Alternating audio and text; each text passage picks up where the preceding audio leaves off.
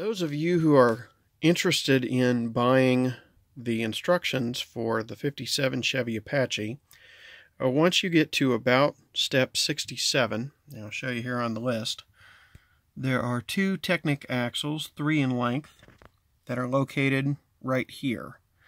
When you get to step 68, it says hose, ribbed 7 millimeter diameter, 6 long.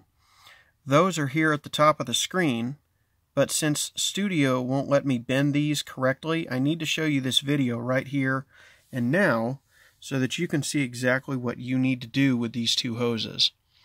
You'll notice there's a 16 wide, uh, 16 by 2 plate that goes across the width of the truck here.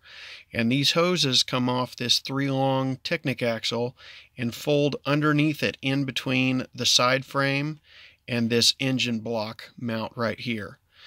Uh, they'll go down to where the exhaust pieces are down here. It doesn't actually connect to anything, but I wanted to make sure that you guys saw the angle of where they ended up going. That's all I've got, and thank you guys. We'll see you later.